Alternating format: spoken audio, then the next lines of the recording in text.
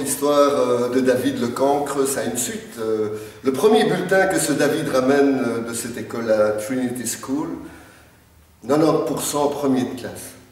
Alors son père, il regarde, et dit, premier réflexe, tu l'as payé combien ce bulletin?